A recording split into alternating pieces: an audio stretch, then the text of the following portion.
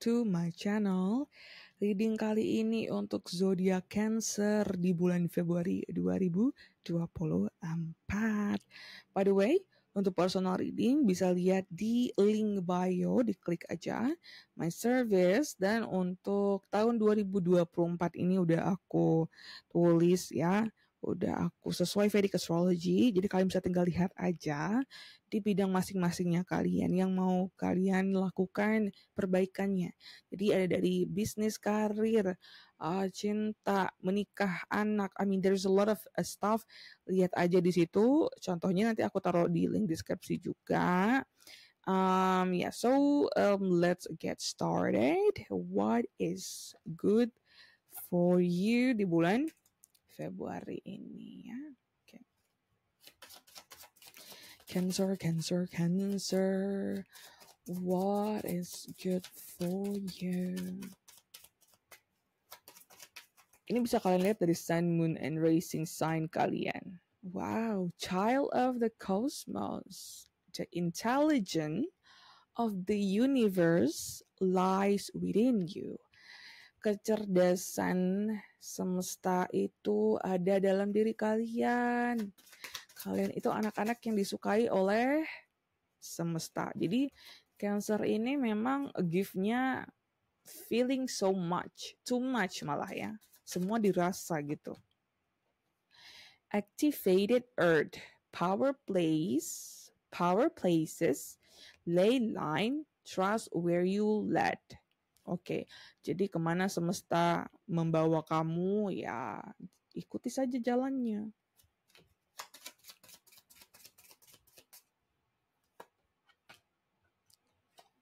Star Brothers, Horus energi, protection, loyalty, safety, and trust. Ini cancer banget ya. Memang kalian itu orang-orang yang loyal, kadang terlalu loyal, terlalu setia Setia padahal orang yang disetiain itu belum tentu baik sama kalian. Oh my god, cancer. Hmm. Oke. Okay. Uh, jadi banyak yang disuruh grounding ya. Grounding. It's mean membumi. Membumi itu gimana? Uh, gak cuman literal secara badan fisik kita banyakin injak tanah kayak gitu. It's literally grounding.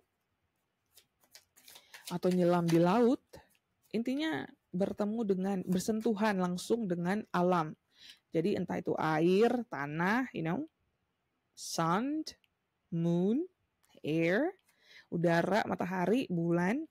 You know, kalau kalau aku sukanya jogging malam, bukan malam banget sih, tapi pertengahan kayak habis maghrib gitu, satu jam. Aku suka lagi, aku lagi suka jalan kaki satu jam. It's it's it's like open my intuition more karena aku menyerap energi bulan kalau uh, kalau pagi gitu aku sukanya jemuran, maybe like 10 minute, 10 menit untuk matahari, nyerap energi matahari. It's it's a grounding tuh ya, itu menyerap, it's a grounding. Oke. Okay. Ace of Wand. Ada something dalam diri kalian yang rasa harus berubah banget, uh, terutama passion hal yang kalian cintai, hal yang membuat kalian itu berapi-api. But there is something there.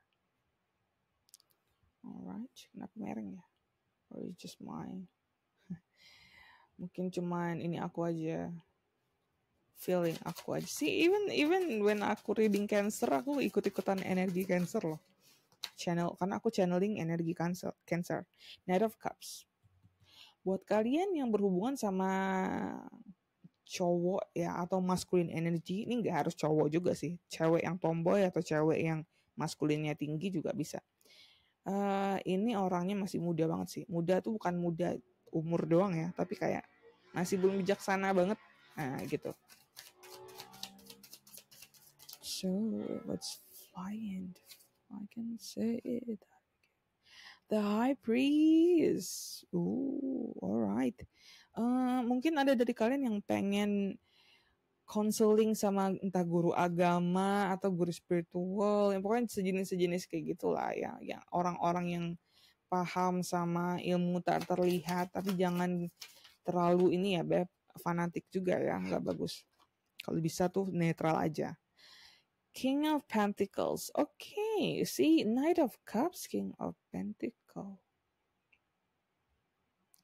Ada dua orang, dua energi berbeda. Satu le jauh lebih dewasa ini orangnya, satu lebih uh, kurang dewasa gitu, kayak muda. Muda nih energi ya, nggak cuma badan fisik doang, nggak cuma umur aja. Six of Cups, oke. Okay. Banyak dari masa lalu timbul kembali. Orang, situasi, the sun. Oke, okay, Leo energy.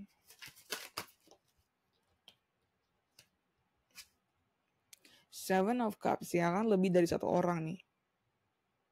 Banyak pilihan kalian tuh.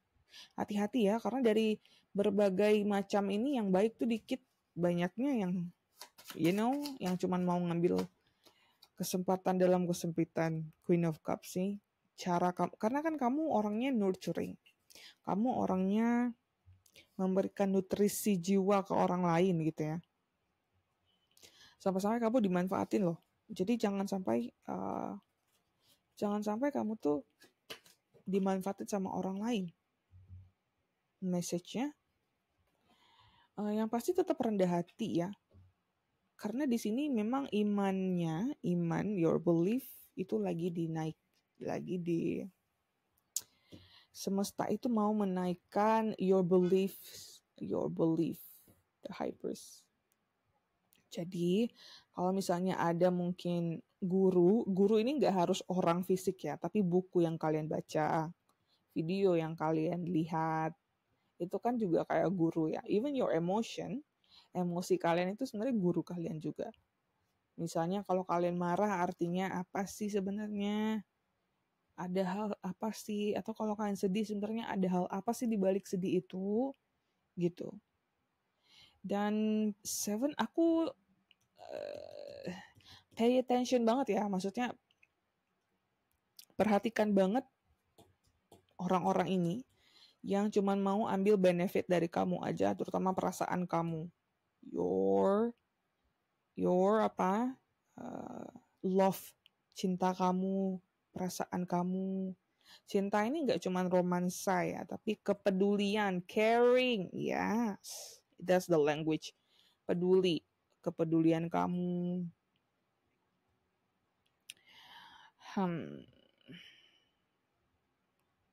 Hati-hati juga sama orang narsis sih, egocentrik. Uh, misalnya nih orang cuma mau gini loh, ketika kamu butuh dia dia nggak ada tapi dia butuh kamu kamu selalu ada and this is not good for you harus timbal balik dong ya kan? I mean enak banget dia cuma dapetin uh, cintanya kamu kamunya nggak dapet cinta dari dia. Beda kalau misalnya dengan anak ya karena it's unconditional love um, cinta yang tidak terbatas sih kalau sama anak gitu ya. It's, it's, it's different story. Tapi kalau orang-orang yang manfaatin kamu kan kalau gini, kalau anak itu kan artinya kan kamu sudah memilih karma bahwa kamu memberikan energi kamu ke manusia lain dan sudah terikat secara darah gitu kan. Tapi kalau misalnya orang-orang yang hanya mau mengambil manfaat dari kamu, why you even bother? Capek aja ntar apalagi orang-orang narsistik. Ini orang-orang dari masa lalu kamu loh, Leo energy. I don't know. I'm sorry Leo, sometimes Leo yang belum awake itu narsis parah memang ya. ego centric parah. Kalau belum awake, ibaratnya ini Leo yang masih tidur lah spiritualnya. Tapi kalau udah bangun spiritualnya Leo itu sangat-sangat setia. Gak ada yang bisa ganggu keluarganya if I love you, you are my family. Tuh Leo kayak gitu. Jadi uh, cuman di sini nggak tahu kenapa aku ngerasa Leonya ini yang belum evolve dan dari masa lalu kamu loh. Terus kalau ada cowok, I don't know, masculine energy, nggak cuma cowok aja ya, tapi cewek yang mungkin agak tomboy atau cewek yang kalian suka lah. yang agak tomboy. Karena Cancer nih energinya energi cewek sih. Maksud aku bukan kalian cewek gay gitu ya, tapi some of you maybe. Tapi maksudnya ini lebih ke feminim. Feminim tuh apa? Lebih kuat perasaannya daripada logikanya. Jadi kalau kalian Cancer cowok, perasaan kalian itu sebenarnya lebih tinggi dari logika kalian. It's your gift and your karma. Untuk belajar di bumi ini. Alright, that's it.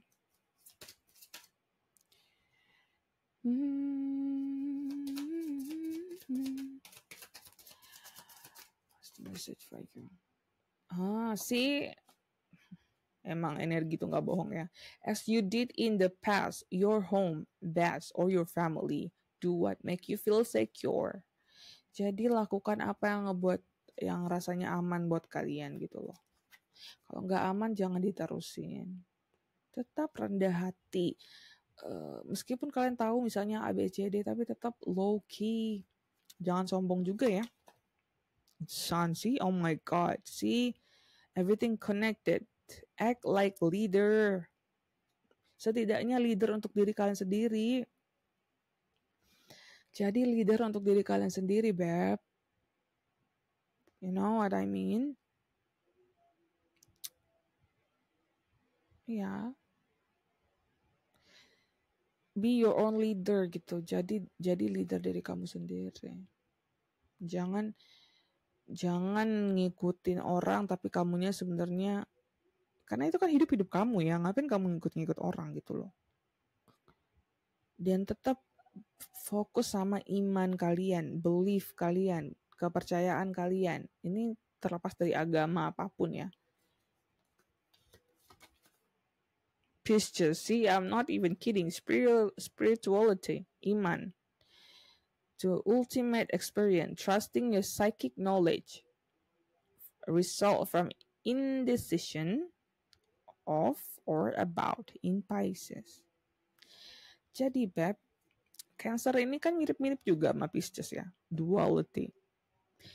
Uh, suka baperan, moody, karena apa? You rule by the moon. Rule. Planet kalian itu yang mimpin, istilahnya Tuhannya bukan Tuhannya ya. Yang mimpin, bosnya bos besarnya gitu, bulan, the moon. Jadi kalian energinya itu kayak bulan emang.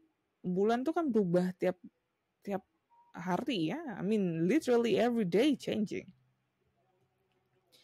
Perputarannya itu siang ke malam, siang ke malam itu kan ya. And it's it's it's it's a pretty fast planet kan. Planet lain sama Jupiter. Jupiter lama muternya kan.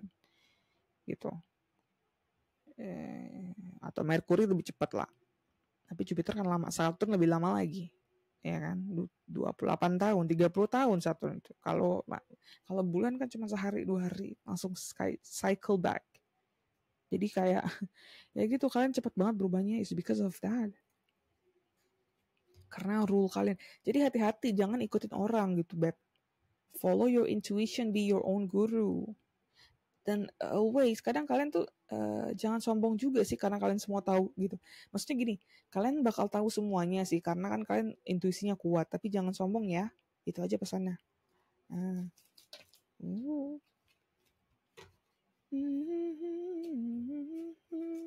Let's see what's the love reading for you. Romance. Cupid arrows try. Okay.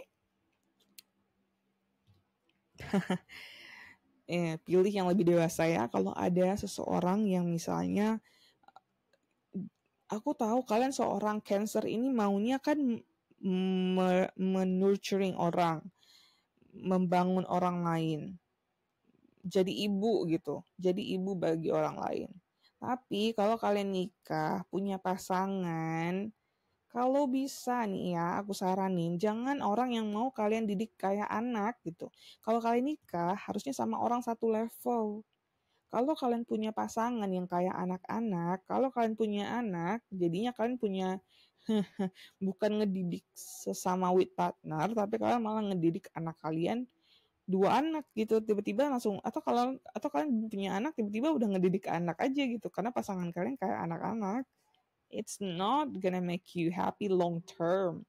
Meskipun kamu baik banget dengan energi your ini ya energi cancer ini ibu keibuan tapi jangan sampai orang mengambil manfaat dari kamu dan kamu jangan sombong juga karena kamu tahu semuanya karena intuisi kamu tinggi jadi tetap balance, oke? Okay? Balance. Hati-hati sama narcissistic. orang-orang narsis yang cuma mau ambil kebaikan kamu itu juga hati-hati. Tetap rendah hati, fokus sama keimanan, tingkatin spiritual kamu. Love is in the air, pilih dengan hati kamu ya, jangan dengan ego. Karena memang kamu orangnya intuisinya tinggi sebenarnya ya. So, I think this is it for you yang mau personal reading boleh karena ini kan general banget ya. Jadi aku mesti ngelihat yang lebih lebih dalam. Aku mesti connecting sama kalian langsung um, untuk general it's okay it's more like planet and energy in general kemudian bisa lihat lagi ya again di link deskripsi jadi um, ya yeah, I think this is it for you. Thank you for watching. Jangan lupa comment, subscribe, klik join ya biar support channel ini. I will see you in the next one.